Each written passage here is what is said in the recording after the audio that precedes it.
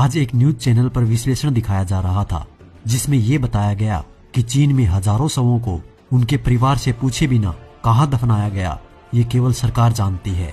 Italy में किसी भी शव को कोई कंधा देने नहीं आ रहा। वे इंसान जब ज़िंदा थे तो अकेले हो गए थे, और मरे तो लावारिस। चलो सही है, कोरोना ने इंसान का असली रूप दिखा दिया, लेकिन भारतीयों द्वारा सोशल मीडिया पर कोरोना जैसी भयंकर बीमारी पर मज़ाक चल रहा है।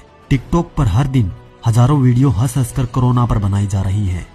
लाखों जोक्स फेसबुक पर अपलोड हो रहे हैं। कुछ लोग घर से बाहर निकलकर सरकार का विरोध कर रहे हैं। आप सब ध्यान से सुन लो। अगर महीने तक ज़िंदा रहना है तो सीरियस हो जाओ, वरना आने वाले दो सप्ताहों की कल्पना करना भी मुश्किल होगी। देश दुनिया में कोई मुसीबत भारत के लोगों के मज़ाक, हँसी ठिठोली का साधन बन जाती है। पूरी दुनिया में कोहराम मचाए कोविड 19 का जितना मज़ाक भारत में बन रहा है उसका आधा मज़ाक भी पूरी दुनिया के लोग मिलकर नहीं बना पा रहे हैं क्योंकि चीन जापान फ्रांस इटली ईरान समेत तमाम देशों ने अपनी आँखों के सामने अपनों की लाशें देखी हैं। उनको इसके खतरे का न सिर्फ़ अंदाज़ा हुआ है बल्कि उसे भुगता भी है भारत में अभी सिर्फ़ आठ लाशें सामने आई हैं, क्योंकि अभी हम वायरस फैलने के सेकेंड स्टेज पर चल रहे हैं कल्पना करना मुश्किल होगा जिस दिन ये तीसरी स्टेज पर पहुंचेगी जिन देशों में ये तीसरे चरण में पहुँचा उससे सौ गुना बुरी हालत भारत की होगी, क्योंकि यहाँ के लोगों को इस वायरस के प्रकोप से बचने की बजाय उसकी मज़ाक बनाने में वक्त बीत रहा है। मेरे एक दोस्त ने कल मुझसे हाथ मिलाने की कोशिश की। मैंने हाथ जोड़ दिए तो उन्होंने मेरा मज़ाक बनाने के लिए वे दूसरे व्यक्ति के गले मिल लिए। बोले, देख मुझे कैसे होता है कोरोना। उनके इस अंदाज ने मुझे भारत में कोरोना वायरस के तीसरे स्टेज की कल्पना का भयानक दर से सामने ला दिया। वजह ये है कि विदेश में सरकार किसी भी पार्टी की हो, लेकिन वो अपनी सरकार के प्रत्येक आदेश का गंभीरता से पालन करते हैं। और जो पालन नहीं करते, उनके साथ वहाँ की सेना पालन करवाना जानती है। हमारे देश में हम जाति, धर्म, राज्य, राजनीतिक पार्टी और सेकी बगाड़ने के लिए नियमों को तोड़ने में आनंदित होते हैं। जिस दिन मज़ाक बनाने वाले की माँ, बाप, पत्नी, बेटा, बेटी या कोई और करीबी इसकी चपेट में आ गया उस दिन उनकी सारी मज़ाक धरी की धरी रह जाएगी और फिर चुनाव के वक्त वे सरकार को कोसेंगे कि सरकार ने हमारे परिजन की जान नहीं बचाई या पर्याप्त उपचार नहीं मिला।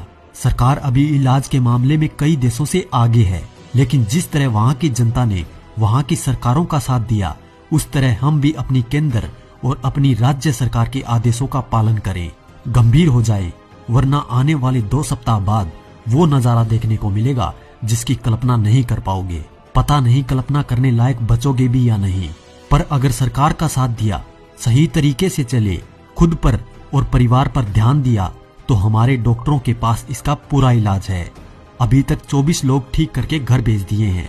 जो भर्ती हैं, उनमें से ज़्यादातर की तबीयत में सुधार हो रहा है।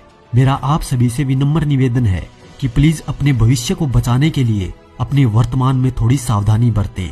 क्या होगा अगर कुछ दिन दोस्तों के साथ बात नहीं कर पाओगे? फ़ोन कर लो।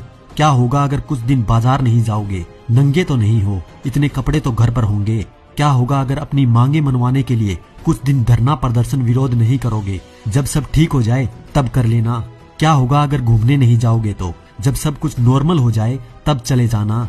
क्या होगा अगर दिन में दस बार हाथ धो लोगे? क्या होगा अगर मज़ाक उड़ाने की बजाय लोगों को जागरूक करने के लिए मैसेज करें? क्या होगा जो जागरूक मैसेज दूसरों को फॉरवर्ड करते हो? उसका खुद भी पालन कर लोगे। क्या फ़र्क पड़ता है कि सरकार किसकी है? और वे क्या कह रहे हैं? मतलब इतना रखो कि वो आपके हित के लिए कर रहे हैं। क्योंकि मौत न जाति, न धर्म, न क्षेत्र, न उम्र, न राज्य, न इलाका, न लिंग और न सूरत देख कर आती है। इसलिए मेरी विनम्र अपील है, अभी वक्त है, मान जाओ।